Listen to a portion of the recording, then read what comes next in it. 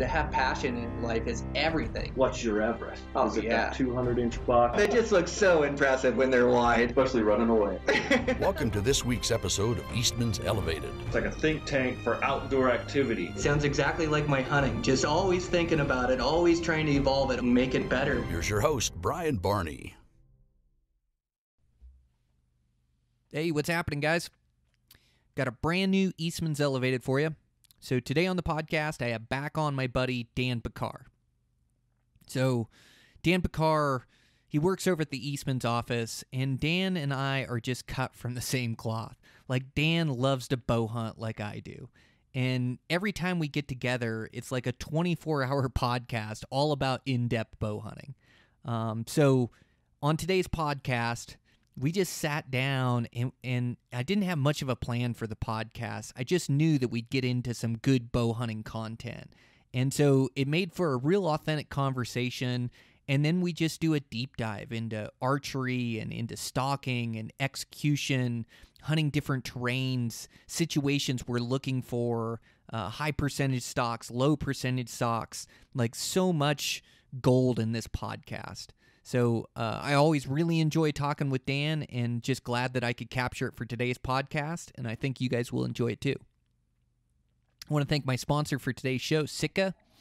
So Sitka builds the best technical mountaineering gear on the planet. Uh, I'm so impressed how over the years they just eva- evolved their their function and their fit. They've evolved their fabrics to come up with the the best layering system for any hunt out west. And so they have a different system, you know, for hot weather, early season, for early season antelope, early season mule deer. Uh, that lightweight hoodie is such a breathable, nice hoodie, but you can also cover up from the sun so you don't get sunburnt or sunburnt the, the back of your neck or your ears. Um, they they have a, a lightweight pant, so uh, the the the best pant for that early season. I like the Apex, that works good. Um, they also have the Scent pant, which is a great lightweight, breathable pant. But they have these systems all the way through, all the way to late season, where you can really layer up and and be comfortable in in in any weather that comes your way. And, and so it just keeps me out there longer. It keeps me safe. I rely upon it. I'm super impressed with their new Kelvin Lite gear they came up. So that's their insulated jacket and then their insulated pants, these three quarter cut pants. Uh, they have the, the warmth to weight ratio of, of goose down, but they also have like a, a, a water resistant covering over them where it doesn't get the insulation wet on the inside. It's just an amazing product that their jacket, the Kelvin Lite jacket, is my by far my absolute favorite jacket and insulating layer. And all the way through, they have shells. Uh, the the heavyweight hoodie or Apex hoodie is great. They just have so much great gear, and it's about really building a system for all these different seasons. And so, you know, you don't have to go out and buy everything that Sitka makes, but it's just like update or upgrade you know a piece of gear a year or a couple pieces of gear a year and it just makes for a great backpack well uh, backpack hunting you know uh, day hunting whatever the case is but it just builds a great system for these different seasons and it really makes me more effective in the backcountry and and not only that but that subalpine pattern with those browns and greens blends into almost any environment I've ever hunted from Hawaii to spring bear to my fall hunts for high country mule deer or for elk.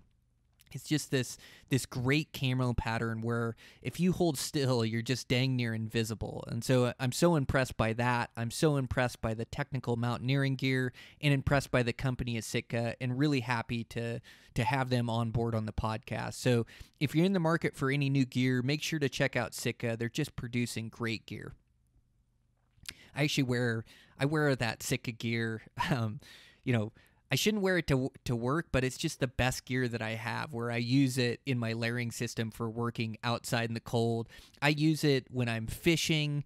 It's just the best gear that I own and builds these great systems. And I actually I have this buddy Charlie that I fish with. And um, you know, Charlie's kind of getting into hunting, and he owns this Sitka gear. And he pushes the Sitka gear to all the fishermen how it's better than the than the the the fishing um, like the the waterproof shell jackets that you can get. He's always showing it off, but it is. I I, I truly love it. and use it uh, 365 for all my outdoor ventures. It's it's just great gear. So make sure to check them out. Um, thanks to Dan for laying down this podcast. Dan also um, uh, operates the Beyond the Grid, the internet hunting TV show. So you can search Eastman's Hunting TV on YouTube. You can find it there. Uh, I've had a few episodes come out, and they keep dropping more of my episodes that came out on the Outdoor channel. So be on the lookout for those. Uh, we had that new one, Open Country Bucks. I was proud at the way that came out, and I've got a couple more episodes that I'm really excited to see loosed and and uh, have you guys check those out as well. So be on the lookout for those. Uh, make sure to, to check out our magazines Eastman's Bow Hunting Journal, Eastman's Hunting Journal. Uh, check out our, our internet research tool, Tag Hub. They're constantly e- improving and evolving this program. Uh, it's great. I've been using it a ton this season to figure out which tags I'm applying for, uh, odds, uh, success odds.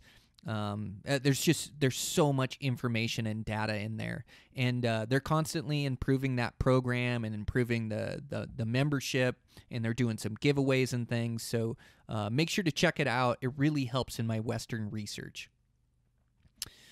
And with that, let's get into this podcast. So, all about bow hunting uh, with my bow hunting brother, Dan Pickar. I really like this guy, and uh, this is a great podcast. Uh, I enjoyed it, and I hope you guys enjoy it too. So, let's, let's get the show started here.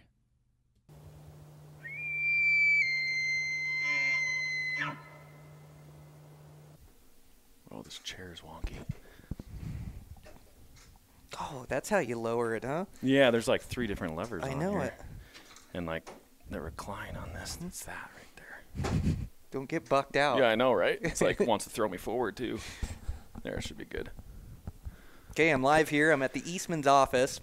I got my buddy Dan Pickar just stepped in the office, and we thought we'd sit down and record a podcast. Thanks for being on, Dan. Yeah, it's always fun to be on. Yeah, for sure. Um, thinking about bow hunting, I bet. Yeah, yeah, absolutely. Trying to plan next trips and thinking about how COVID's going to affect everything and you know what to do this year. Oh, I know it. it. It's so fun playing with the possibilities. It's one of the funnest things about application season and tag season is just playing with all these hunt opportunities.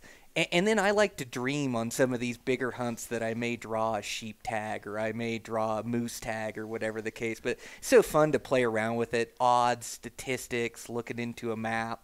Yep, absolutely. It's funny too. So I was just thinking about this the other day. Like you think about like, oh, maybe this is my year. I'm going to draw a sheep tag or a moose tag, but you don't want to think about it too much because you don't want to jinx yourself in the draws.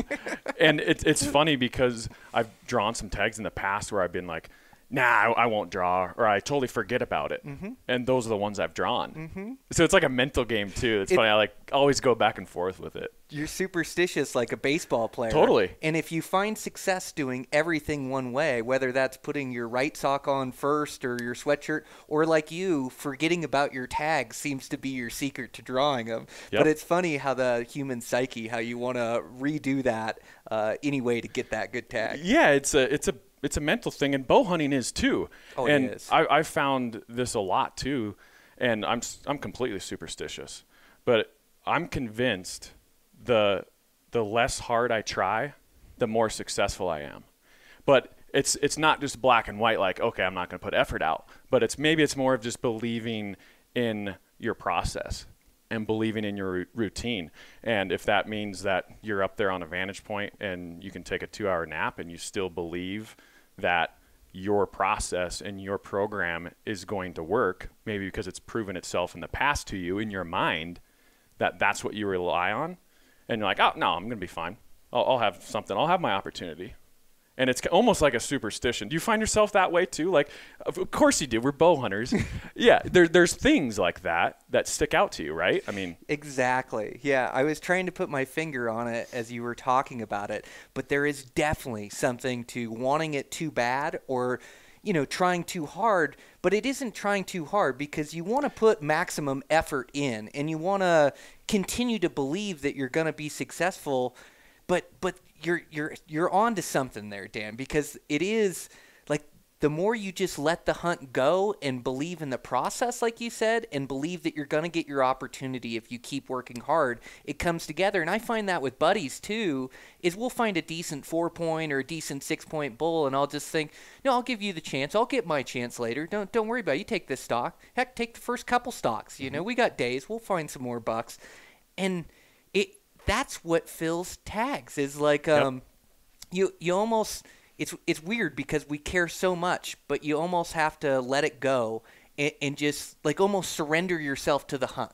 and keep putting forth maximum effort, believing you're going to be successful, but not like over trying or trying too hard or like like really overthinking something or spinning it around or or getting caught up in one of the details or a bad stock. You just got to let it Yep. go and keep hunting. You're and- onto something. Yeah, and you just believe like what happens is going to happen, and it's it's out of your control. It really is. Mm-hmm. But if you put yourself in the positions that you need to be in, maybe when it comes to like you know your hunt specifically, you're going to be fine, and that's what you tell yourself. You're like, no, you're going to be fine, Mm-hmm. and especially like like you, that bring up a good point, like hunting with a buddy. And I've seen it a lot in like camps and like some guys that maybe they don't get a hunt a lot and they're like, oh, I want first shot. Or like they get too wound up. They try too hard. They want something too bad. And then the end of the hunt comes around, maybe they didn't get that. Mm-hmm. And it's like, I think there's something it, like superstitious, something mental about that where you want it too much. You're trying too hard. And you brought up a good point too overthinking. I see that all the time. And hunting, it, it's funny. Me and my brother were joking about that this fall. He's more of the like an engineering type mindset, mm-hmm. and he considers me or my family considers me more happy-go-lucky. Mm-hmm. And my brother's like, "Well, I overthink things way too much," and he's like, "That's my Achilles heel." He knows it, mm-hmm. and he'll sit there and contemplate on a stock, and then in his head, he goes and blows it, and he, he jokes. He's like, "Well, the, all the animals they always commit suicide in front of you," and it's like, I just, I don't know, man. I just don't think about it. I just you're there and you know the routine, and it's it comes down to repetition, right? I mean, I think ultimately, he's like, "Well, you do this all the time." He's like, I haven't killed an elk with my bow in like seven years, mm-hmm. and I'm like, "Yeah, no, that's true. I mean, if you're doing anything in repetition." It's going to become second nature. It's muscle memory, right? Mm-hmm. And and so we were just having fun with that. But yeah, overthinking it is is huge. Oh, you It's- can second guess oh. yourself. You can second guess where you're hiking and hunting that day. But instead, you just have to surrender and hunt where you're at. Like if you pick a drainage to hunt and you hike in there, you can't be hiking in there thinking, "God, I haven't heard anything bugle this morning. I'm not going to find anything. Man, I really should have chose two drainages over." Instead, I've already walked in here in the morning. I've got to commit to this drainage and hunt it wholeheartedly. And it's amazing how many times you go in there and think, well, maybe it won't be that good, but I'm going to hunt it anyways. And then you turn up a bull or you Yes. turn up a buck. And then the whole game changes. Yep. So I think you're right. And I also think decisions in the hunting world are not black and white, they're gray. And so these, these gray decisions, th- there's there's really no right or wrong of when you're going to stalk this buck, whether he's in his bed, whether he's on his feet, whether he goes in the thick cover, whatever happens, you just kind of have to adapt to it, make a decision, but you can't just rethink that decision. Am I right? Am I wrong? What would this guy do? What would he? You just like almost rely upon those instincts and start acting upon them and believe in your decisions, and then it's amazing what Yep. comes together. And I think that comes from experience. Yeah. Right. By just doing it a lot. And uh, I, I see, I from other guys and talking to other guys, you bring up such a good point with, you know, they get into a drainage and maybe there's no bulls bugling or they're not glassing up the bucks that they think they should be, and so then you know the the wheels start turning in the mind and like, oh, maybe I need to move, maybe I need to go somewhere else, maybe I should you know hop over this way, but ultimately it comes down to well, I'm here. Let's hunt it and let's spend a day in here or spend at least an evening and a morning in here and see what's in here. And then, yeah, you never know what's going to happen. And if they're not there, at least I crossed that off my list Yep. because I gave it a good morning hunt. I didn't half ass it in the morning and then leave to another drainage and don't even really know what's in there. And Yep. so, like, giving it my all or living in the moment seems to really help me. And then, where I also find that wanting it too bad comes down to making shots. And so, it, it's a fine line between, you know, seeing your window to kill that bull and not forcing a shot. And it seems like if I just if I just relax and I, I make the moves that I think I need to make, but I don't force a shot and I don't force a bad angle, I don't force a shot in between limbs, like I know what I'm looking for as far as a shot on a bull elk to kill him, and I and I won't sacrifice on that. I'm not going to shoot a bad angle. I'm not going to shoot a bad shot. Where in the olden days, I may have wanted it too bad, and I try to force it in between limbs, and that arrow shanks off a limb and flies off. I miss the bull, and the scenario's over. Or you know you you you think this is your shot and you maybe shoot an extended range shot end up spooking the bull and you never get a chance. Where if i just would have continued to play the game with them and wait for the shot that i'm looking for and been patient that bull dies. But that it only comes with experience. Yep, it really does, and that's huge. What what you just described right there, I think, can kind of sum up how to be a successful bow hunter. Everything else, yeah, you can do your homework on, and you know your optics and how to glass and where to glass. But when it comes down to the moment of truth, that right there is what matters. That right there is what is the difference between going home empty or going home with, you know, a pit in your stomach because you made a bad shot on a buck or a bull and going home with your tag punched and a mm-hmm. clean kill. Mm-hmm. It, and yeah, you're you're spot on. And it's it's like waiting for that right shot and then when I do have the shot or I have the chance to execute, when I first started bow hunting, it was like that that adrenaline is running so off the charts charts that I, I I just find that pin on the animal and instantly buck that shot off. The difference between making a bad shot and a good shot is less than a second for me. It's settling my pin and letting that thing aim in the middle and kind of calm down a little bit. And then I execute, you know, pull on my trigger, execute the shot. Where I make a bad shot is where my pin finds the middle of the body and I snap my shot off. That's where bad things happen to me. But if I just take that extra second on my shot and let that pin settle in that body, it's like they die every time. But that's so tough to remember and keep in the forefront of my mind for every shot I take. And I almost have to think about my shot. I've been working on my visualizations a lot lately where I close my eyes and then I've got a string that's to my draw length that I'll hook up to my release and close my eyes and kind of picture that bull walking out or where he's at and waiting and then I picture drawing back and then maybe he's down a hill and then just picture my pin just settling in the middle and executing and and I I think that helps. I think the the visualization and then when I'm on a hunt not just getting lost in the hunt, remembering that I still have to make a shot to close the deal. That seems to really Yep. help me. Yep. What what helps you with your shot sequence? No, I mean you you described it great right there, and over the last several years, that's what I concentrate on during the moment of truth at full draw. Is if I just aim for another second, maybe two seconds, depending on the bull or buck's nature, if if you you know if he's on alert, if he's not, just take that extra time to aim. It's amazing the difference that that makes into making a clean kill. Mm-hmm. And so when I'm at full draw, like you said, it can be hard to remember that, but that's what I focus on. Mm-hmm. And that's what helps me send a, a great arrow. And the difference between you know a disaster and a clean kill is aiming that extra second, and that's a long time, an mm-hmm. extra second. And when you're at full draw on that pin, that means for me, what it means is you come to full draw and you're not shooting when your pin goes across his chest the first time. You're, you're, you're waiting. I want the pin to, like you said, hover around that and be in that zone a few times, a, f- a few of, you know, it, which could be a second. Not the first time. Never Nope. the first time. Never the first time. Never the first Spot time. on. And that's what aiming is, is waiting. Never the first time and waiting.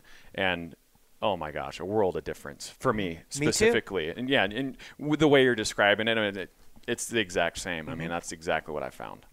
Yeah, it's Yeah. so funny. Me and Dan are dancing around this office with our arms at full draw and talking to each other. It's uh, yeah, it's so great to get you in here. I just love talking bow hunting with you. It's it's just so wild, like all the similarities that we have in executing a shot. And um, you know, I've I've totally gotten rid of any target panic I had. Like I don't I don't even see much of it anymore. But I do notice when I draw back on animals, you know, I have to tell myself in my brain, okay, put the pin on them Like my pin, I draw back and almost my pin's way off the body or something, you know, or like like way low usually or way over. And I say, okay, put the pin where you want it, and it it isn't like you say it isn't snap shooting as soon as the pin gets on them it's put the pin on them and i put the pin and at first it's kind of erratic and then it slows down and my aiming gets smaller and smaller and then i start pulling on the shot and then i can execute a good one Yep. And and so with target panic right there, you're accepting the motion, Mm-hmm. right? You're accepting that hover. It's not going to be bench rest solid. nope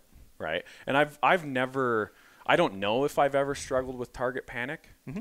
I know a lot of guys do, and when I you know I look at what is target panic and thinking about it, and it's like, well, I've never like really developed a complex over like the hover or not having bench rest, you know, being solid with that shot and then rushing it. Mm-hmm. And so I think everybody experiences a little bit differently, but I don't think I've ever encountered target panic. No, you haven't. I think you're clean from it. I mean, you may see some, some um, like um, some of the the small effects or something, but yeah, you aim really good. You put your pin right on the middle of the animals. When I had it, um, it was like my pin would settle low. My pin would settle at six o'clock, whether that was on a target, whether it was on an animal, and it was rock solid, but it was low. And I'd have to try to fight that shot or fight that pin up and then execute my shot.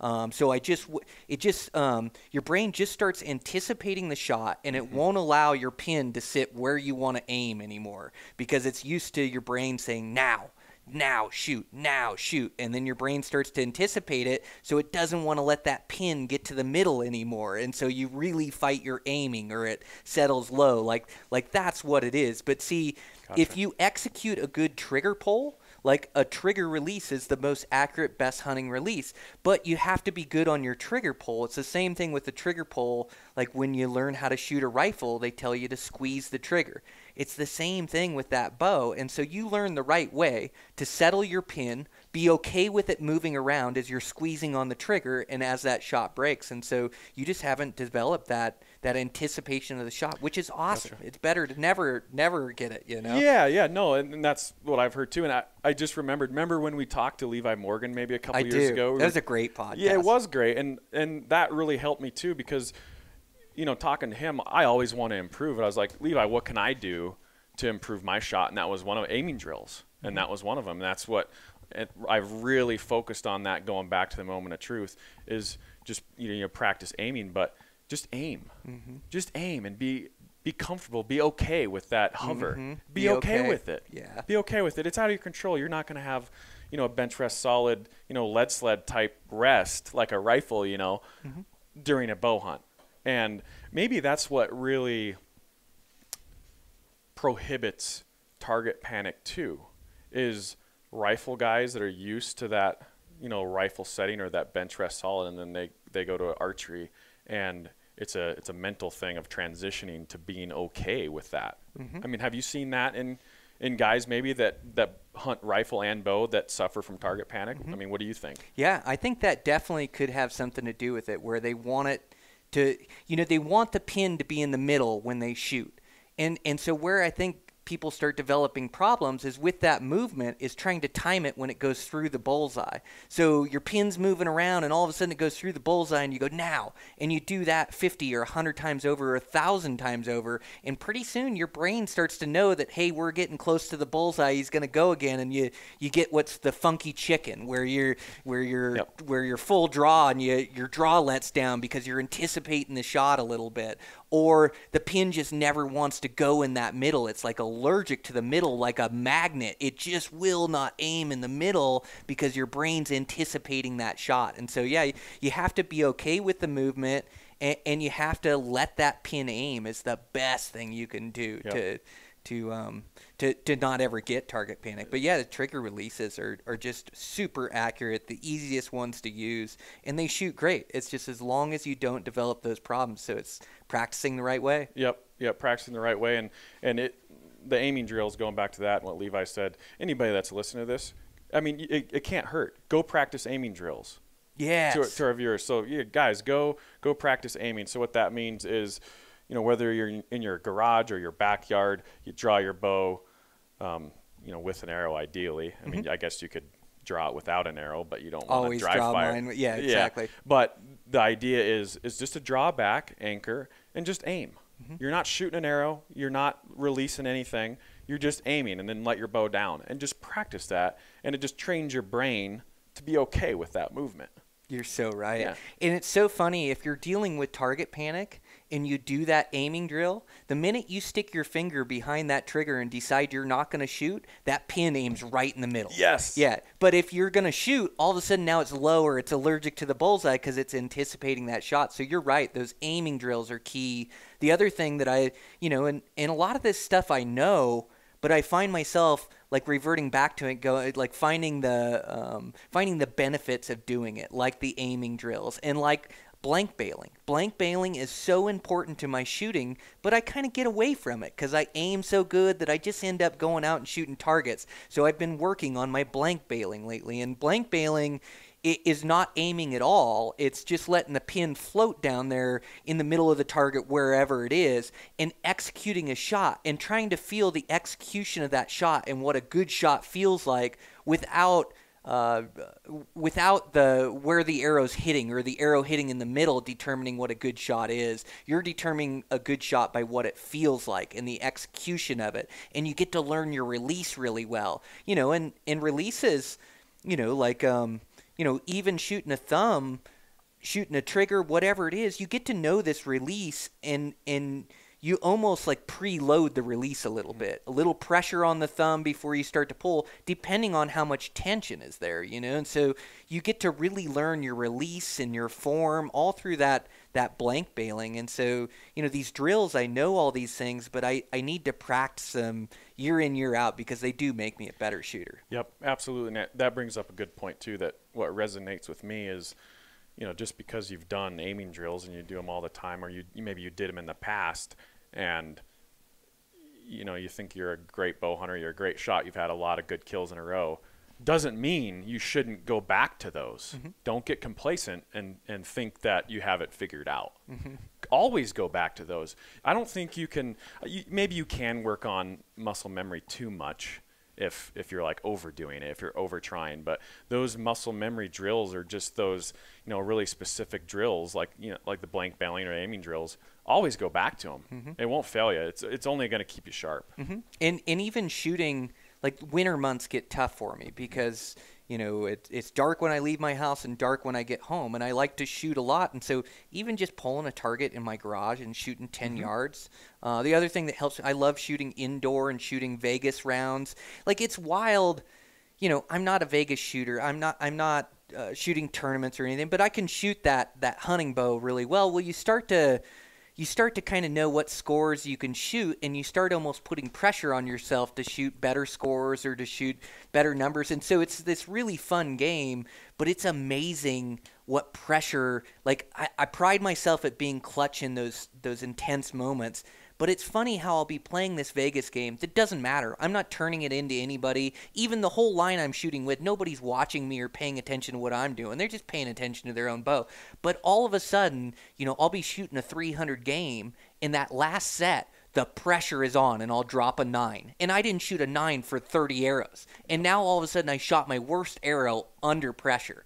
And so, like, that's the goal. Like, I want to put myself in those high pressure situations because that feels like shooting at a deer and elk. And I've always said, like, when you're practicing, when you go down to look at your group, your worst arrow in the group is probably going to be the arrow you shoot at a bull. Like uh, that's going to be, you know, so you want your your worst arrow to still be in the group and still be in the kill shot. You want good consistency, but it's amazing how that how that pressure it really plays on. So I think it's good to shoot like with buddies, around buddies, Yep. even to mix in some of the the ski shoots or the 3D shoots, even if you're not trying to shoot a score, win a tournament or whatever it is, it's high pressure shooting, Yes. which is good for a guy. Absolutely. Everybody needs it. I mean, if you want to be a consistent killer, you have to have Mm-hmm. you have to have that pressure situation repetition. And that, that gets me thinking too about pressure situations. Do you do you find yourself maybe in one type of hunting scenario that you feel the pressure more than another type? Uh, for example, for, for like me, when if, if I'm stalking something, if I'm if I have a lot of different things going on, I'm I'm keeping tabs of the animal I'm stalking, but I also have to be just mouse quiet with my feet.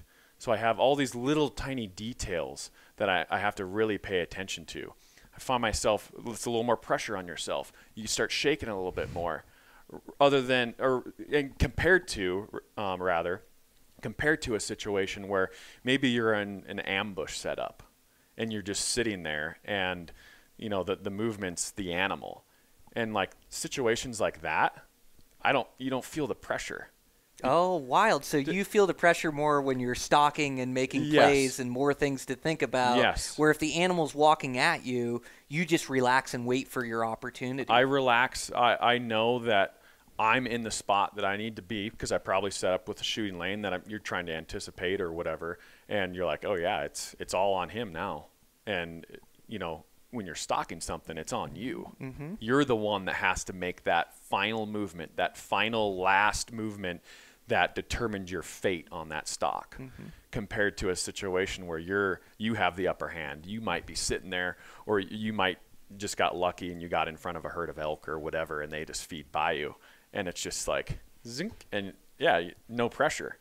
Do, do you find yourself in situations like that? Maybe you shake less or you're like less nervous in That- those types? That's really interesting. Like as I think about it, you know, I think I get nervous if I don't have anything to think about. Almost when my mind's occupied and I am stalking, like I just don't have time to get excited. Where if Yep. I'm sitting there and I'm waiting for him to walk in, I'm almost like building it up or like I'm and, and I really try to focus on my breathing if I'm getting too excited, like big deep breath in, big deep breath out. Cause that adrenaline, like it's real. Like sometimes I'm like, I don't even know how I'm gonna make a shot. You know, it, it's pulsing through my veins so much. But I do know what you're saying on the stock, so I do start to get nervous because, like, like we can all go walk and go be quiet out here in the gravel when it doesn't matter out. But it it's like every step counts when you're making that stock, and so all of a sudden, yeah, those nerves they almost mess with your agility and mess with your ability to, to really control yourself in every move. Now,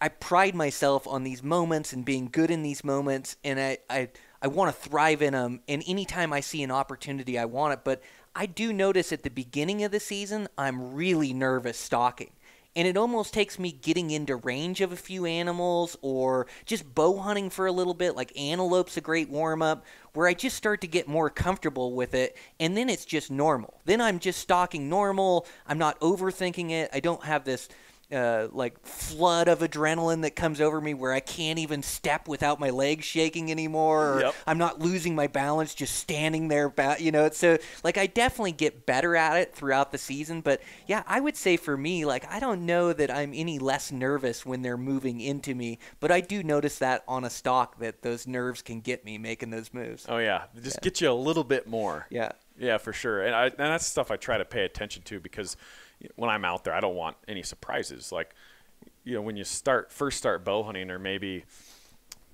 I, don't know, when you're younger, you some of like how your body reacts or how your emotions react to a situation might surprise you.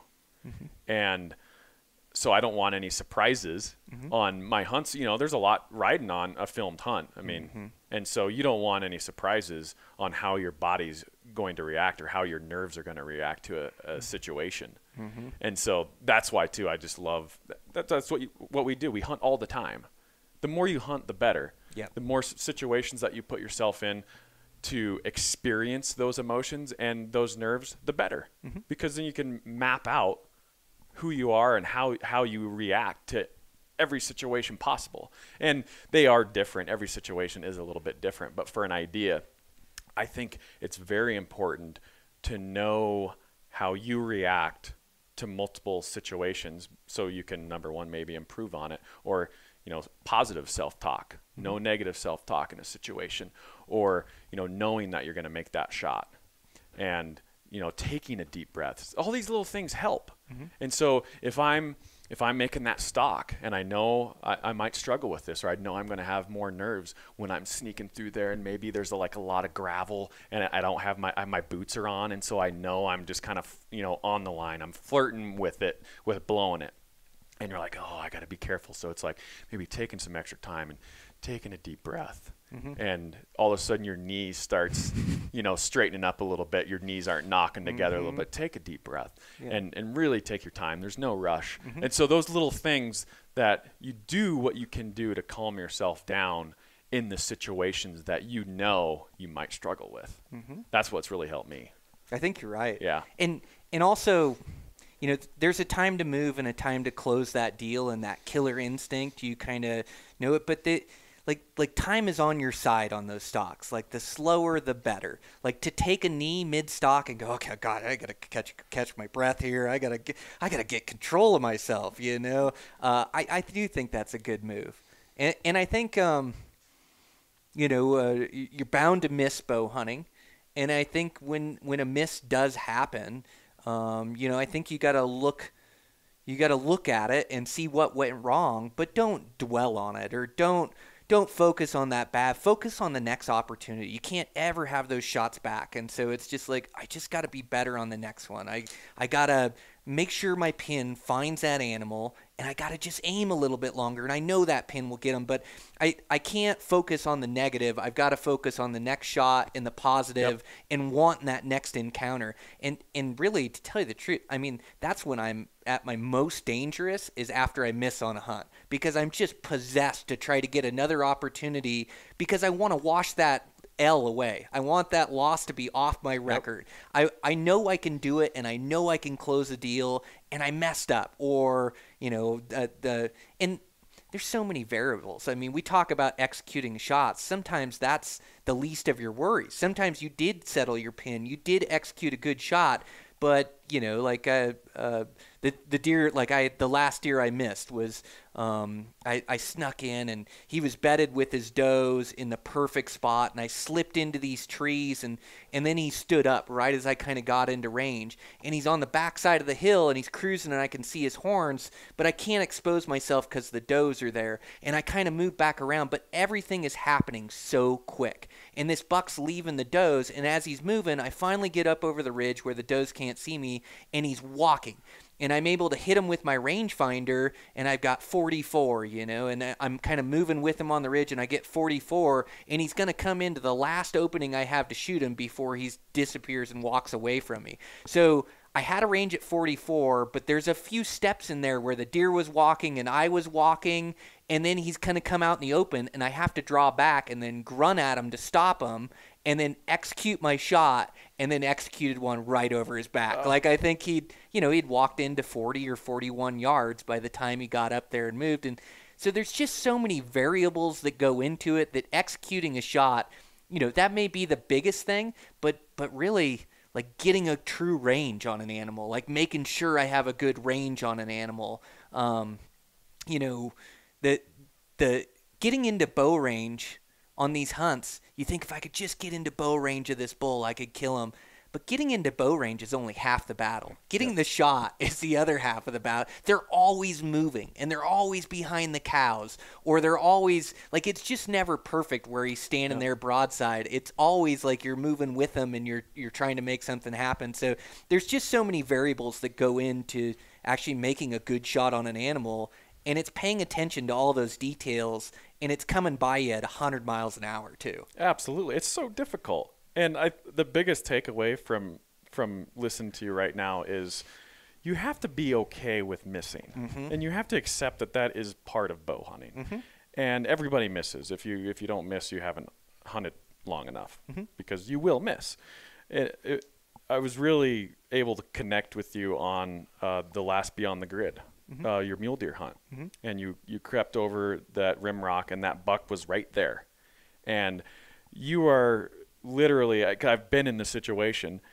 You're you're scrambling. You have to draw back because that buck is at 15 yards below you, and you know you don't have time. You have to execute a shot as fast as possible.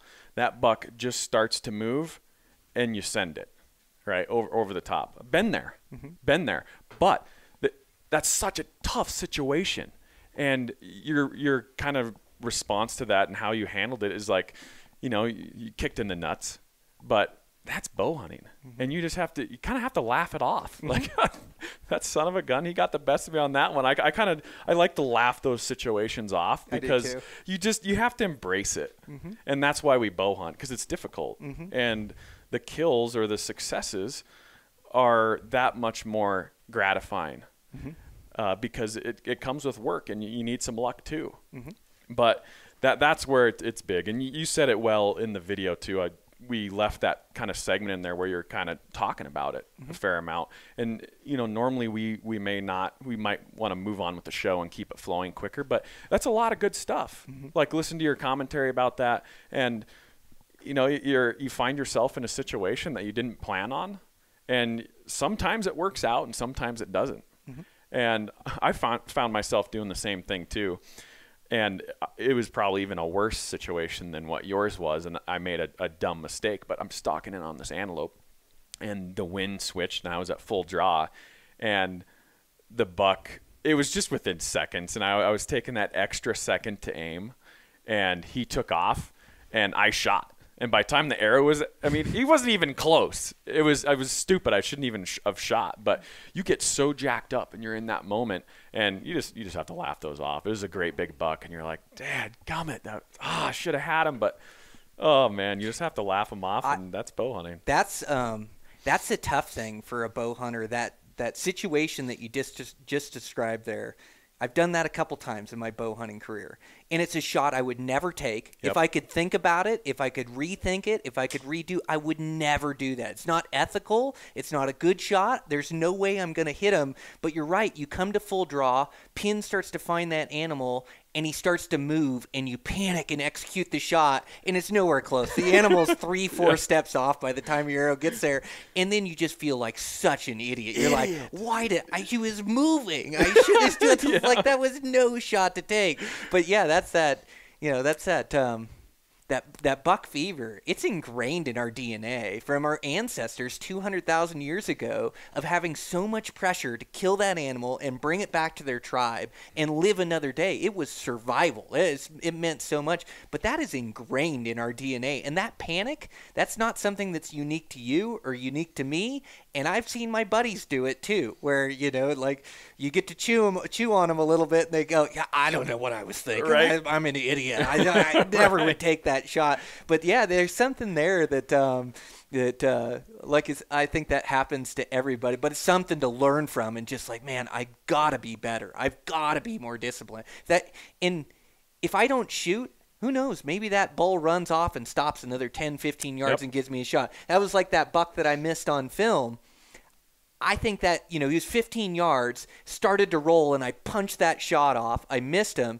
I think if I wouldn't have missed him or sent that arrow in the rocks, I was so close to that buck. I think he would have stopped again at 40 or 50, Mm-hmm. given me my good broadside, and I would have nailed him, and it would have been a done deal, and I would have been a hero. you know, right. Instead, yes, I yep. panicked and I forced the shot off, and then I spooked the deer and spooked the opportunity. But Yep. yeah, that's part of the game. We've all been there. It is part of the game.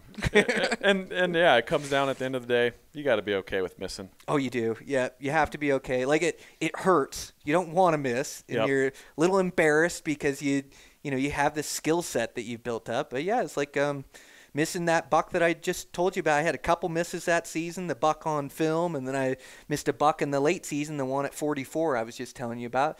But I went back up to the vantage point, and it's almost like the way you look at it. So just like you were saying, like I just looked at it, it was like, man, I got the close encounter I was after. He was at a different yardage. I was playing the game. I did the best I could with the scenario I was given. Like, sure, if I could replay it, maybe I would have not shot and let him get over, kept making moves or something. But I, I, I saw an opportunity. I tried to close the deal. But to me, that was worth the price of admission. That was worth driving all the way down to the southern desert 20 hours. Like that adrenaline rush and getting the chance to make plays on that buck. I walked back up to the vantage point. And I told Dan, I said, man, it makes my trip. I got so close to that buck. I had him, you know, and he just slipped between my fingers.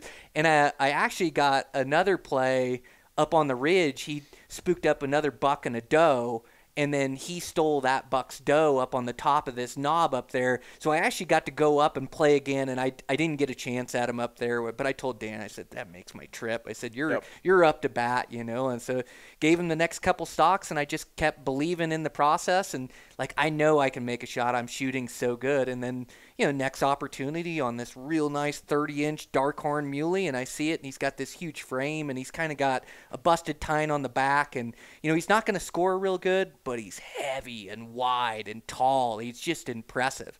I thought, yeah, I'd, be happy to shoot that buck, and I'd given Dan two or three stocks, and I said, yeah, I can go try to make something happen on that buck. Sure enough, he gave me a shot and pinwheeled that thing. Yep, You know, nice. put it right where I, you know I couldn't have walked up and put that arrow any better, and that buck maybe made it 10 yards, maybe made it five seconds before he tipped over dead. It felt so good. Yep. You yep. know, that re- redemption feels good. Oh, absolutely. And probably coming back to that too is especially after you miss or you have a blown stock, it's just a numbers game, right? It is a And- numbers and, game. And that's what you have to tell yourself is that like, okay, we, we got one out of the way, we got a blown stock or a miss out of the way. It's just a matter of time before it's gonna fall your way. Mm-hmm. And I think that plays a, a, a big role in keeping that positive attitude Mm-hmm. because that plays right along with that. If you have a negative attitude, you're a negative Nancy out there, it ain't gonna happen.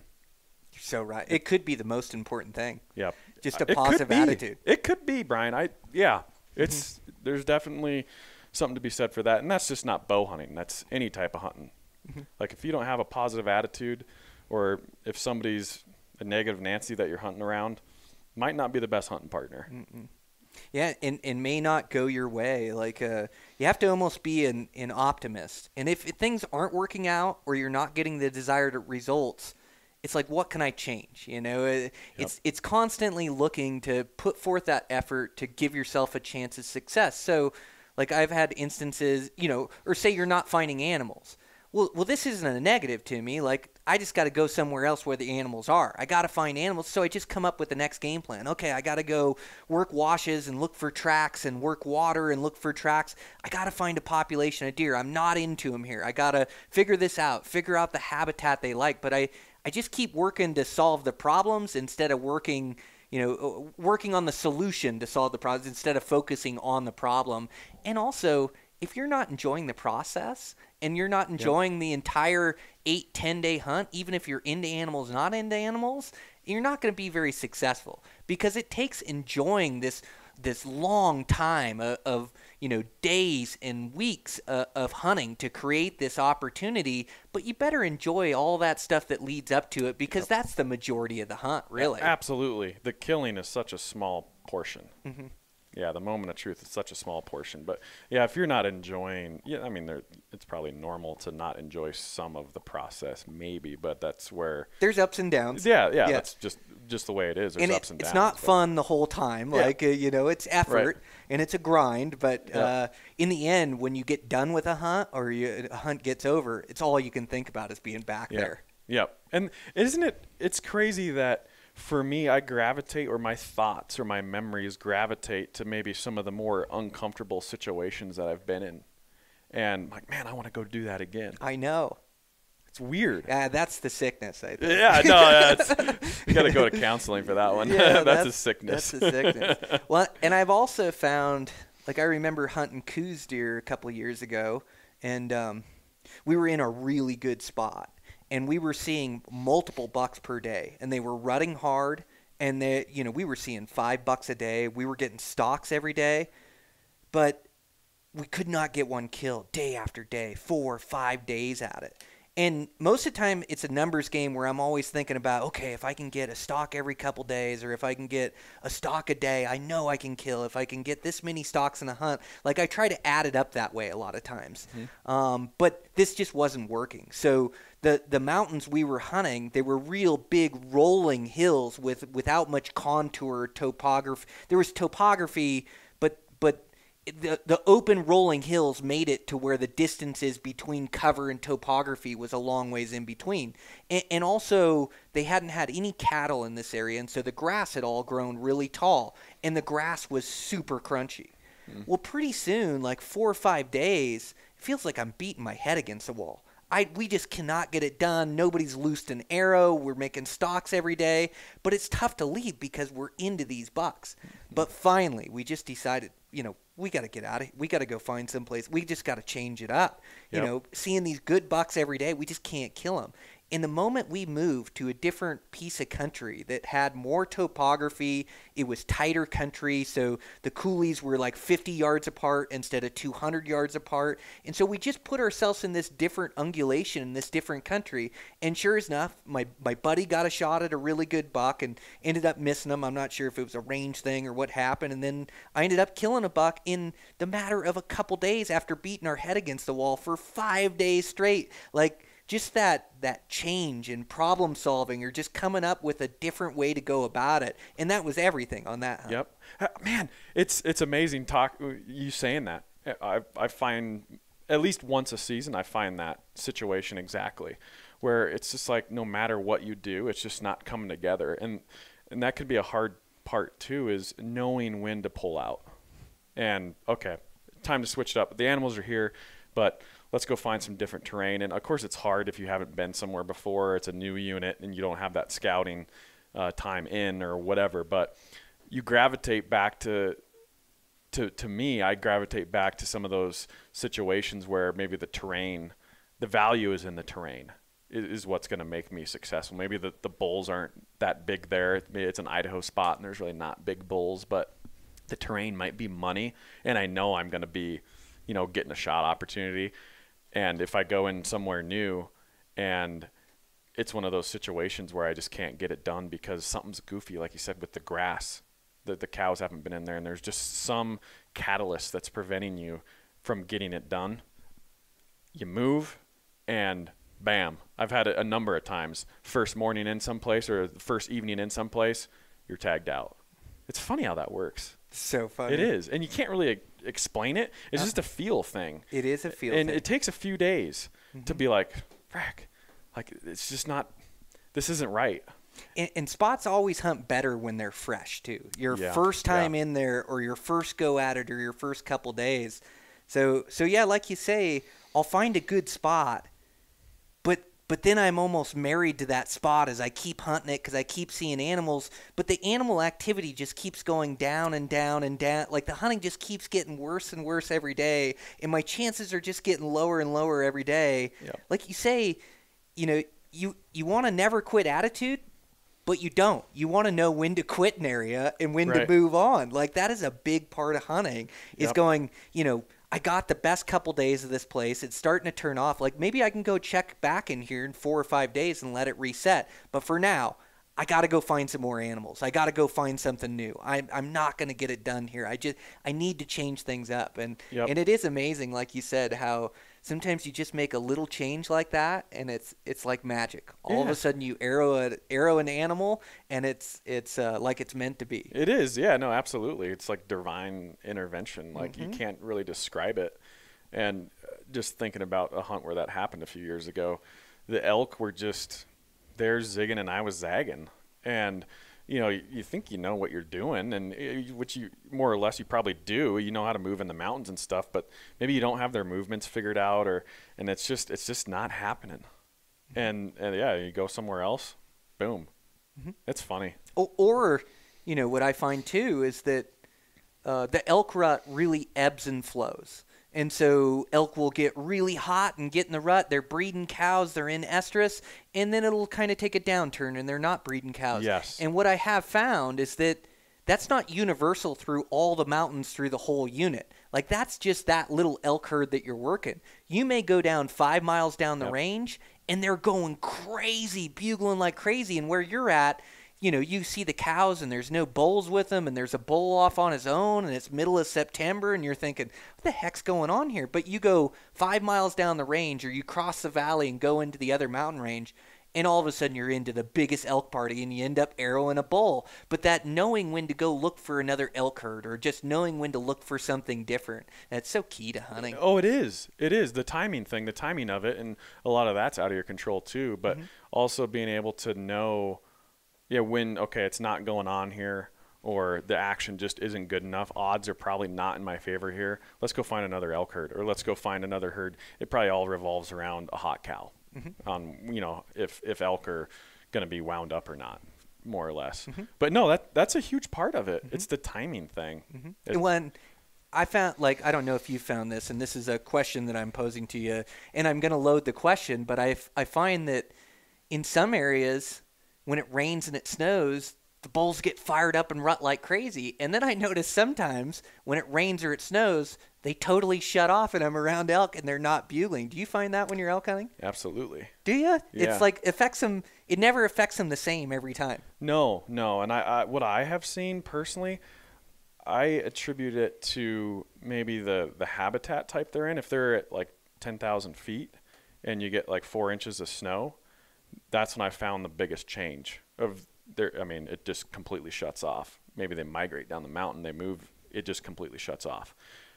And in other situations, if I'm in lower country or hunting the desert, uh, maybe that rain or snow doesn't really change anything. I've tried to build correlations in my mind, and that's where it's probably important to keep notes every year on to what elk are doing and what mountain range. Oh, and I found that like in mountain ranges, especially in Montana, anywhere really, anywhere, whether you're in the Bighorn Mountains here, the elk do something different than they do in the Madison range Mm, or the crazies. It, it's they're all completely different, is what I have, have found, and weather affects them differently.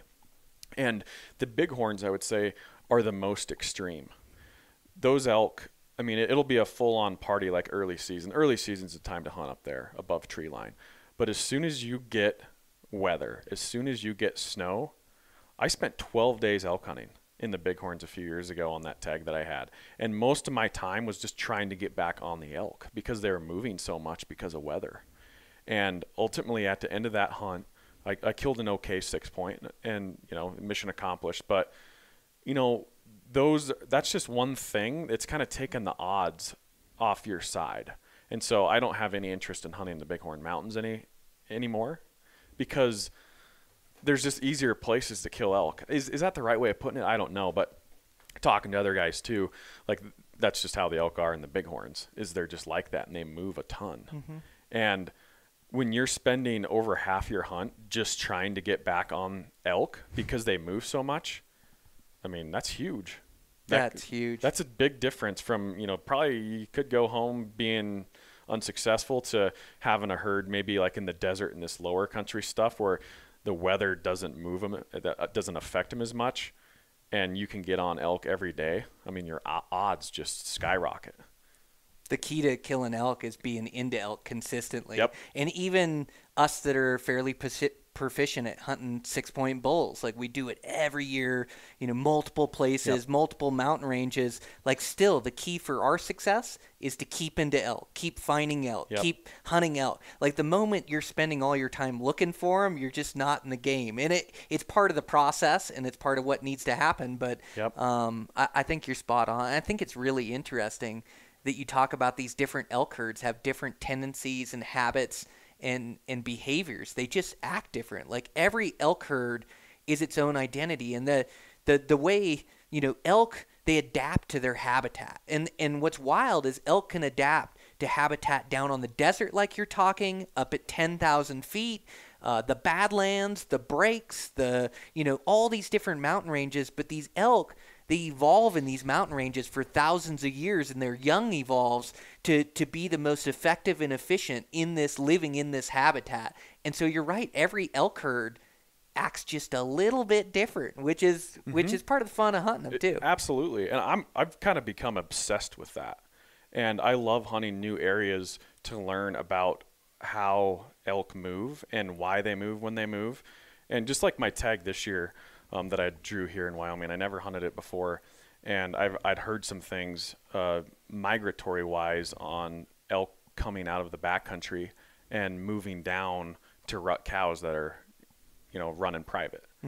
And so I set up trail cams this year. And because I just wanted to learn, like, where are they coming from? Number one, when are they coming? Number two, because from what I heard, that zone, it can be a ghost town one day and just completely lit up the next day. And I learned a lot this year about that particular area, and it's different than anywhere I've ever been. any other elk herd I've ever been. It was just different. And for whatever reason, you know, nothing on the trail cam uh, until August 26th, I believe. Hard horned, they they and these elk, these bulls specifically, they were coming out of the backcountry completely clean. So clean horns, just rubbed, no mud on their body. And I found a wallow in that transition zone that a lot of these bulls, this is the first wallow that they hit on August 26th. And they hit this wallow and they leave all muddy and multi- bull after bull after bull. Wow. And then they just kind of disperse. And so I went up there like three days later. I couldn't find a bull. But they, they're traveling so much, and so much of it is timing. And it's difficult because I'm getting, you know, some giant bulls on video, some 360 plus bulls on video. And you're like, man, I, I got to find these suckers, you know. But they're not on public, and there's enough private land in the zone that, you know, you may never see them just because you can't access that private. And so, like a hunt like that, I'm probably going to gravitate less towards in the future because the movements it, it's kind of extreme. They they move a long ways and it's unpredictable and it's not consistent. The hunting is not consistent, and so that is just a big player against you in in the odds of the, in the grand scheme of Mm-hmm. things. Gosh, that's interesting. Uh, elk hunting does seem like it's all about timing. They're so nomadic that you can walk up the best elk drainage in the whole mountain range, and you can walk up there, and you can be a week late or a week early, and you don't see an elk in there. But you show up at the right time, and it's an absolute elk party. And then it seems like you can time it year after year after year, but it's not always the same dates or this it may shift just a little bit. Like say it always like i always get into these elk in the second week of september. Well that may shift around a few days but they seem to show up year after year in these spots. And and one of the spots i do really good is my home valley. Like i i've been hunting elk there for 20 years and i've hunted sheds there and i just know these elk herds really well. Well I, I know, you know, I have some early spots that I can go to and other mountain ranges that I hunt, but I know when I see a snowstorm coming in, I know where all these elk show up at. And when I get a big snowstorm in September, they move into these spots and they rut like crazy and nobody's on to them because I know the day they're going to show up, the the whole valley all is all socked in and the you know there's it's snowing, nobody's hunting because it's snowing, they don't think they can get on them. And when these snowstorms come in, I have like a handful of different spots that I'll hunt and every year it's some of the best hunting I ever see when these snowstorms come in. So I take note of that. That's timing. But they're only there during a big snowstorm or, you know, later in the season maybe, but it's Yep. only during that snowstorm that they show up and it's epic hunting. You can go there the rest of the 330 days of the year and you won't see an elk. You just see Yep. old sign. But when that timing's right, that's when the elk hunting's perfect. And that's what's special in an elk spot because not it's very few spots are predictable year after year like that. And like a, a situation like that, you probably don't hunt that every year because the conditions aren't right mm-hmm. every year, or you might have tagged out somewhere else.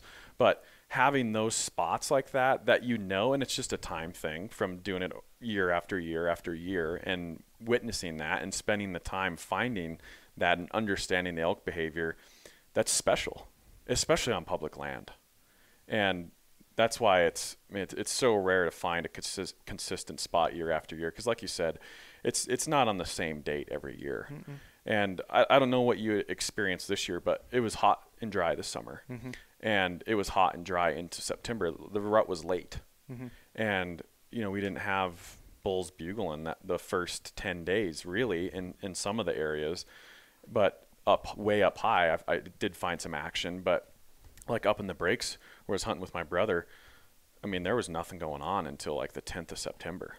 And everybody was just kind of scratching their head, like, where are the elk? They're usually here this time of year, but every year is so different. And just because you draw a, you know, a limited entry tag or a, a good tag doesn't mean it's going to be easy because it's just elk are so dynamic and the, there's so many factors with the weather and the year before and how they, uh, how the green up was in the spring on where they're going to be and how they transition and where they migrate to. It's it's amazing. I'm just completely fascinated by elk and their movements. And mule deer are the same way, right? But it seems like elk they can be so nomadic and so difficult to figure out.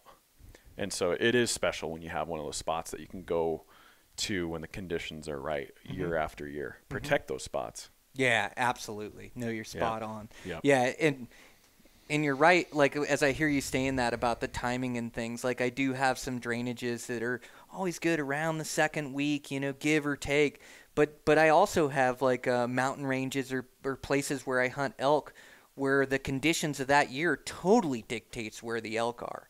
And so where I killed my bull this year, you know, I don't know you know, I always come up with theories of what it is, but I'm not so sure of what it is. It was such a dry summer that I think a lot of the food, the feed burned off in the areas that I like to hunt, and so therefore the elk weren't in there. Or maybe it was COVID and the hunting pressure, and there was guys that dove in there early. And, and they spooked them out of there, spooked them to different places, or or moved them along their path. And um, oh, I, I heard all kinds of theories. I heard theories that the grasshoppers were bad and they ate the grass, and then the elk. I mean, it got a little weird, but uh, but but it is conditional, and you can you can you notice it when it like like this place that I killed my bull this year. It hunts different every single year is like a different year in this place. And even though I have these spots that the elk prefer or that the elk like or they rut in or move through, you know, it's just elky country. I went in this year and I struck out spot after spot after spot after spot that usually there's some elk in there. They just weren't in there this year. I don't know what it was. Yep. But again, it just it pushed me to go look for some spots that I had e scouted that were totally different than spots I had hunted and just started bombing into these drainages and hunting fresh and trying to figure out okay where are these elk you know? And finally started to see a few and okay where are these ones moving to after they're pressured in here? Okay I'm gonna walk in here and then I stumble upon a great big bull you know? So Yep. like that's just the way it happens. But you're right some of these places or a lot of these places it's different every year just dependent on the conditions. Yep. And that's what makes it tough. Yeah. Going back, circling back around, the the biggest, well, one of the biggest keys to success elk hunting is being on elk every day. oh that's it Yeah, it really is, and that that's the hardest part. I Mm-hmm. feel like, especially the public land game, being on elk every day is so difficult. And you may not really think of it. I mean, you're just going out elk hunting. You're just hunting elk, but it's it's an odds game. It's a numbers game. If you can be on elk every day, eventually, it's going to fall your direction. That's exactly right. Yeah. Yeah. Yeah. That's my goal too. Just trying to stay in them. Yep. Yep. So That's all you you had can a good elk hunt this year? Yeah. Yep. Home, home state? Yep, home state. Only had one tag this year, which kind of was a bummer. I missed out on Idaho selling out so quick, and my brother drew Montana, and so I wanted to allocate time with him. That's right. And you so- hunted with your brother. Gosh, Yeah. you guys killed Yeah. a slammer. Your brother did. Yeah. What a cool hunt, man. It's going to make such a good video. It was it was incredible, and I, I wanted to make sure that I could do everything in my power to get him a giant bull, and you know, we spent the time, and it was a, a weird year, but it happened, it happened, and the look on his face, and it, I should just tell you the quick story Dude, because I want to hear it. it's once again you th- you think you've seen every scenario, but you haven't. You haven't, especially when it comes down to a kill shot. But this bull, and, and this is where I I really this year I was like I want to understand elk behavior more vocally. I I know, and especially you. Always go back to spot and stock. It's an effective technique in open country. I mean, it's just effective but I was like, I want to call some bulls in, or, or you just you're more aware. I wanted to be more aware of the behavior of a bull and look for that certain behavior that you know is callable, that he is going to come in, and and hopefully you get lucky and find a bull like that. Anyway, so we hunted ten days, and it was just tough. It was tough up there. It's hot, dry. We weren't finding the bulls, and just being in the zone. We were trying new areas and bumping around until we found a herd. And it was September 11th. And this was kind of like the first rut activity we saw. And we found a cow herd, and there were several small bulls around, but it was still pre rut. And, and so we, we didn't focus on that herd, even though there were several nice, decent bulls in there. But you know that the big bulls are going to be around. And so don't be distracted by the, the big herd. That's kind of what our theme was for that day. And my brother caught a big bull slip down the ridge behind us out in the wide open. And he took off over this ridge. And I didn't see it because I was on the other side of the hill glassing. And he's like, Yeah, it was a big bull. It had to have been at least 330. And I was like, well, Let's go find him. And so we we dogged this bull, and he, my brother said he did bugle as he was going down. So we have a solo bull, pre-rut, a big bull, and he's bugling. That bull calling cows bugled, just really intense, and and just really loud, intense bugle. That bull's searching, right? But he, he hasn't found the herd yet. And so, okay, this is our target. And it's like my bull I killed uh, two years ago in the backcountry. Same thing. Big old bull kind of in the periphery. Same situation. So this bull, you know, crossed some wide open country and he was kind of pointing in the direction of this timber patch on this north face. So we were just we ran for like a mile not didn't run but we hiked our butts off to try and stay with him because he was traveling and it was getting daylight we come to this big uh, doug fir north face and i'm like yeah he's got to be in there so i actually my brother he let out just a nice not too intense bull calling cows bugle and that bull fired right back so okay intensity this bull hit that bugle right back and he stepped out in the open and we look at him like okay, don't look directly at the antlers on that sucker. We just got to kill him. That's what we know. It's a big bull. And I think over the court, we were 300 yards from him, and we could see him. He could see us, but we didn't call when he was in the open because they pinpoint you. They're smart. They'll pinpoint you. So we just watched him, and he bugled three or four more times because he's searching. He just he wants that company. He's searching for those cows. And I was like, Justin, we're gonna get in on this thing, and we're gonna call him in. And so we slip down. We go down over um, under the fence, cross the creek, and by that time, that bull had just worked back into the timber and he was rubbing. And so we could hear him. He's only 300 yards away. He's back in the timber, so we have that little window to move because he's under cover. So we slip down, we cross that creek, and as we're going up the other side, we have this old growth Doug fir, and, and we can hear him rubbing. And I, I, don't think we could have stalked in there really. I, th- I really believe this was our play on, on this calling situation.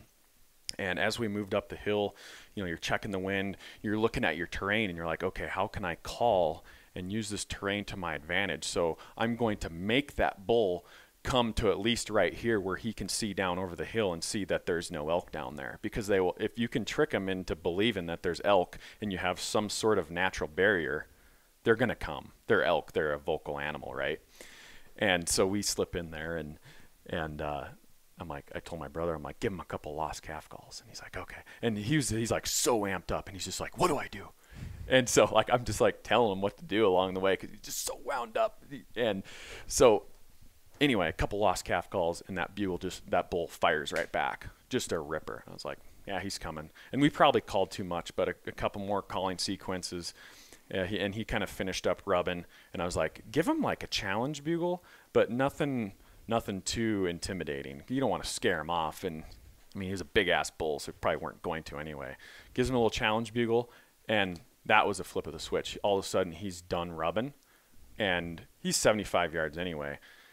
And here he comes. I mean, you can hear him coming. He bugles again. The bugle's closer. And, you know, during this time, so we're set up right on the crest of this ridge, and we're trying to direct our calls down below in the creek, knowing that bull is going to want to come at least to that ridge where we're on to see down there. But we called a little too much, so he came out at 40 yards and he's just looking right at us. But we're like tucked in in the shade. We got a big Doug fir. I'm right behind my brother. He's got his bow up. I'm filming in between his head and the bow, just like in this window. And this bull just rips off a bugle, snot flying, drooling. And I was like, dude, this thing. And he's like getting ready to shoot. I'm like, wait, wait, wait, wait. Don't shoot, don't shoot. He's at 40 yards but he's frontal still. And we've, I, I, I don't think I've ever taken like a real frontal shot, like a true frontal. Like I've been too scared to. Mm-hmm. And he hasn't either. But my rule of thumb is a lot of guys do. You see it all the time. But my rule of thumb is if it's 15 yards or closer, I'll, I'll take a frontal. That's my that's my rule too. Yeah. Super close. Yeah, Because be the close. spot you got to hit is about the size of a grapefruit. Yep, exactly. Small, uh, you know, small room for error. So this bull, he kind of he knew where the calling was coming from, but he still couldn't see down over that hill. So he just starts walking down the trail right to us. So my brother had his single pin slider, which he converted to for the first time this year. I talked him into it, but he had it set for 40, and I wasn't on him enough. I, I should have told him just to leave it at 30, just leave it there. Um, but it just didn't happen. Anyway, this bull's walking down the trail, and I have never seen this before, but that bull gets to 30, he gets to 25, he gets to 20, and my brother draws his bow with almost no motion. He draws his bow, and right when he starts drawing with that motion, that bull just looked down the hill right at that split second in time. And so the bull didn't see my brother draw at 15 yards. So what he did see, my brother draws the bow. All of a sudden, my window to film is gone because I don't have that bow and head space anymore. So he draws. He's at full draw. This I, I can hear this bull breathing, and I just go, zoom, and I just kind of lean out from my brother to the side, and that's what the bull saw at that point. So this bull's at 15 yards, and he's like looking, and, and we're hidden. I mean, we're set up, and my brother's like, "Should I shoot?" I'm like, yes. like, yes, no shit, shoot, shoot. He's 15 yards. So he shoots, and he was pretty wound up, and he and he hits him high in the neck. And so we, we kind of talked about this, and I was like, dude, you're you're gonna get roasted on this, like with comments, because it's it doesn't look like a good hit. It's not a good hit. It's a meat hit. So he, he hits him in the neck, and we're like, frick, that's a meat hit. That bull's gone ah, he was a giant bull, giant, and you're just sick to your stomach. And you know, it, you know what happened. You know, that's the first thing you're like you you want to ask him. And he, he knew his his sight was set at 40, and this bull's at 15 yards, but he, he never practiced at 15 yards with his sight set at 30 or 40. So you're guessing on how low to hold. You got right? no reference of what Yeah. that tw- that 25 yards is. You know ballpark maybe, but yeah, yeah. and it- you would know. You spent a lot Yeah. of time with that sight. Yeah, with that sight, and your first year, you, you might not know as much, right? Yep. And and he, his, his trajectory's a lot worse for that situation because he's 27 inch draw. He's got a really heavy arrow, so he has a, a little more trajectory.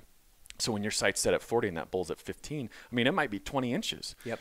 And so he told me he draws back frontal and he puts his pin on the bottom of his brisket, like right down on the bottom. But it's it's hard and it, I don't care how much experience you have. If you're if you're holding that much off of where you want to impact at that distance, it's very tough to wrap your brain around that because ideally he should have held off the animal, you know, off the brisket like that low, like 20 inches low. It's so tough But- to aim that low Yeah, and let your pin 50 settle. You yeah, just can't. You can't. No. you can't. And so, and he did the best he could, and, and he held low. And so, anyway, that's why it went high, and it was a little bit to the right. And you know, at first, first thought, we're like, yeah, that thing's gone. And so I'm like, well, let's go look for blood. It's the least we can do, you know. And so we just gave it like 15 minutes, and we walked up there and we saw where that bull was standing, and there's no blood, of course. And we are like, oh, he ran out this way. He ran back down the trail and then cut up the hill, and all of a sudden we're like, oh, there's a drop of blood right there. And we kept walking, and there's more and more blood, and like a little more. Then all of a sudden, it was just like pouring a water bottle out. And so this bull was just running through the brush basically, but it was just like you're dumping a water bottle out. You know where we're going with this one. And then he stopped, and there's a pool of blood. I'm like, dude, I I think you got the jugular, and I, I just don't see how this isn't a jugular hit with this amount of blood. And it wasn't like I think he nicked the jugular is what happened because the bull went like 300 yards and died, but it was like a really easy blood trail to follow, and it's it was kind of a bittersweet moment Yep. because that's not how we wanted it to go down. No. That's not how anybody wants it to go down. And then, you know, you're second, second guessing, you know, frontal shots now, right? You're like, oh, that was a bad shot. And, and he's like, he's like, I just don't deserve this bull. That's what he tells me. So it's almost like remorse that he was, he actually, he has this bull laying at his feet and it's his bull. And he's like, I, I didn't deserve this bull. And I was like, dude, that's bow hunting. That's what you got to chalk it up to. Frontal shots are hard. It's low odds, and sometimes things happen that are out of your control, and you just got to take them. Mm-hmm. You got to you got to take what comes your your way. Mm-hmm. And you know, did you get lucky and you hit this bull in the jugular and, and you made a really clean kill? Mm-hmm. But you know, you have a kill zone the size of yeah, maybe your index finger, a jugular vein on an elk, and that's what he hit. And so it was it was a it was a somber, melancholy moment maybe mm-hmm. when we got up to this bull. There was no like hooping and hollering or mm-hmm. like you know congrats on a perfect execution on a super giant bull. There was really none of that. It was just like we were like pretty calm and you know, took some time just to like analyze everything and let it sink in a little bit. And you know, you have your high fives and stuff, but at the end of the day, you just kind of shake your head and be like, "Man, that's bow hunting. Mm-hmm. What do you do?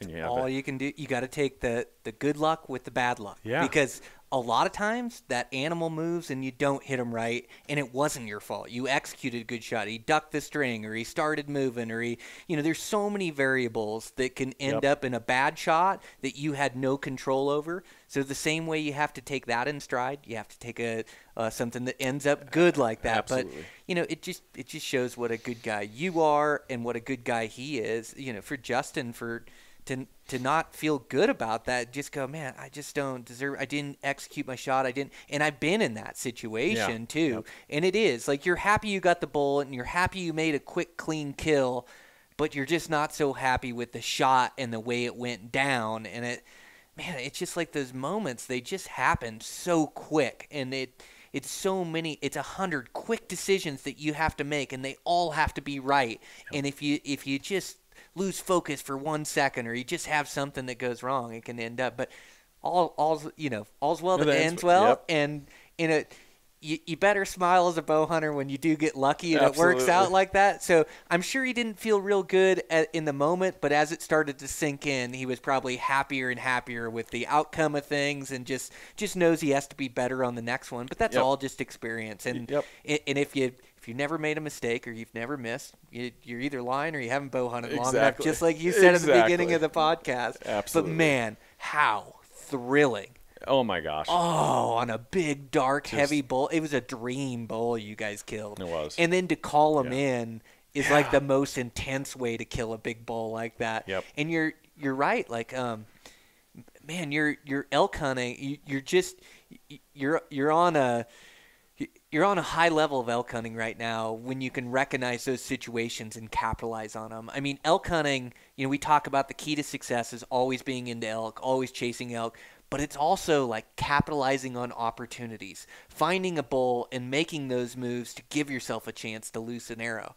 And you guys found that bull, and you hadn't had a lot of success in 10 days, but you found a good bull and then you tailed him, followed him, and then you theorized and you came up with where he's going and what he's doing. He doesn't have cows, but he's bugling, and and your approach to that to that elk and to that hunt with your brother, it, it was spot on, perfect. Like you Yep. nailed it on that bull, Yep. you know. Uh, and you guys did so many things right on that hunt.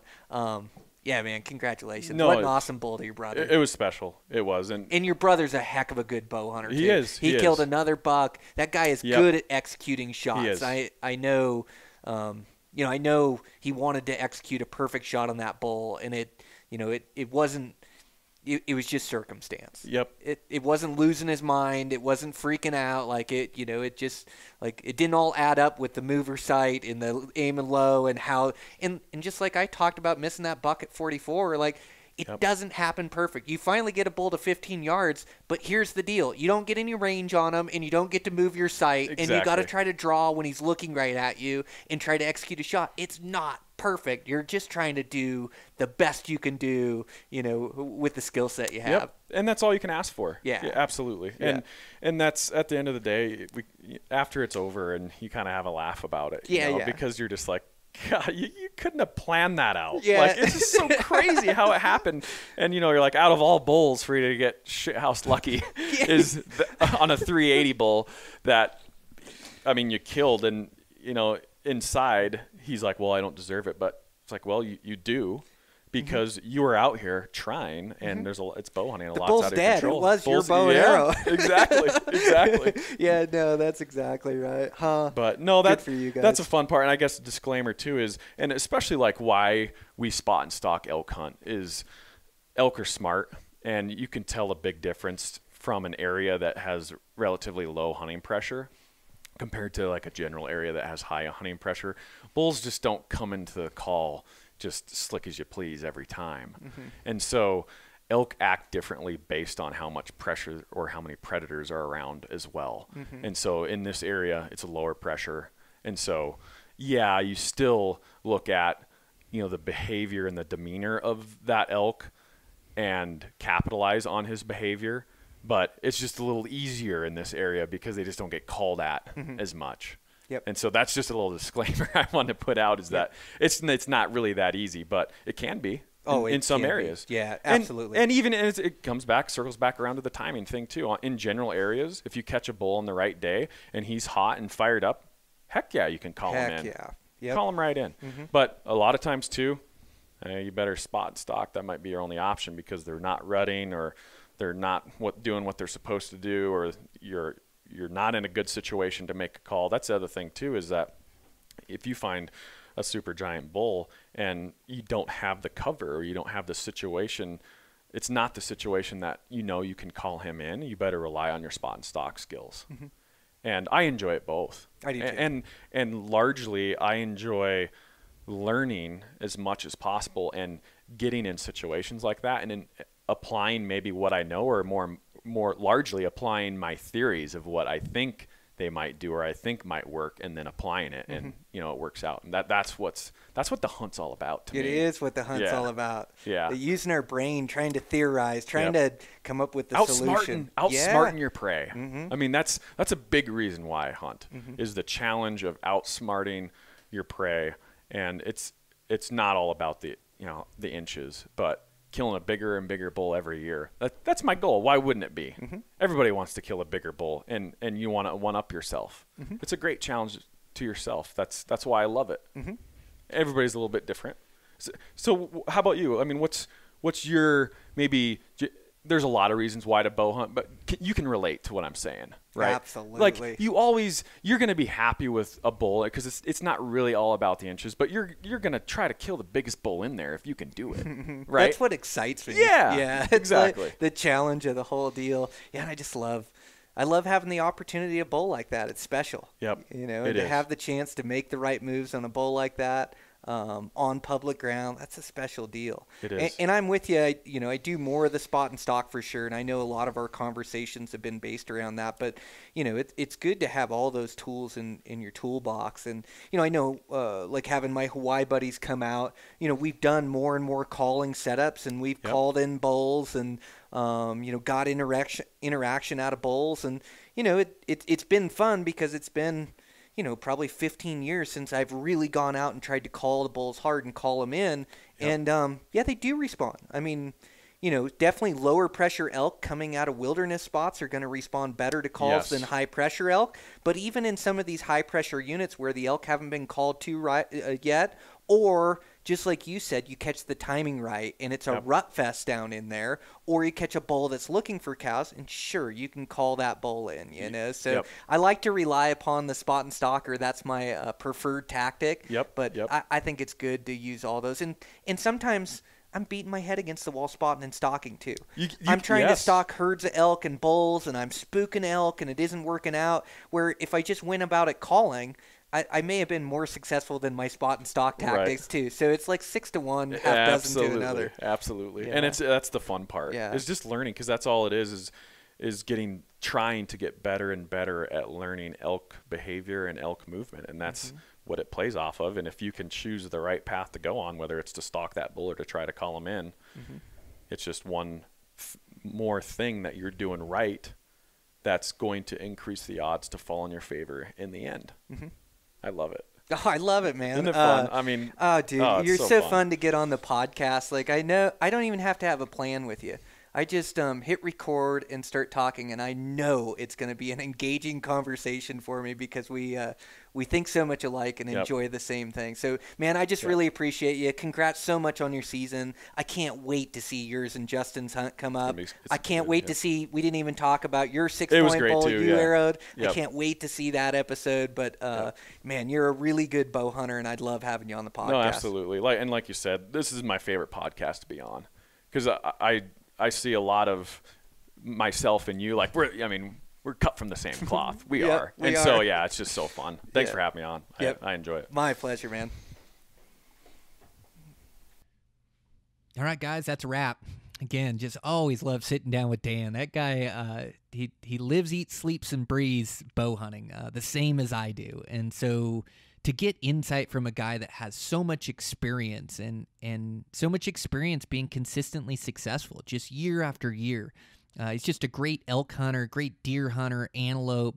Uh, he loves Hawaii like I do. He loves to travel like I say, he's he's my bow hunting twin in there at Eastmans', and so uh, we get together and there may be 20 guys in the room, and you can. Uh, Dan and I always seem to, to to be chatting about bow hunting in some off corner or something. You know, we just we both love it so much, and it it's it's such a great endeavor. Like I just love backcountry bow hunting, and I I love constantly learning and improving and getting better. I love like putting my all into to hunting season and and now I've just structured my life in a way where I get a lot of time to do what I love to do and um, man I mean this this off season just brings it to the forefront of my mind I kind of get I won't say cabin fever like I keep myself busy and I'm into my training and my research right now and bow hunting is 365 but man, there is nothing funner than like being in a hunting season or coming up on fall, coming up on those August early season mule deer hunts, September early season mule deer, September elk.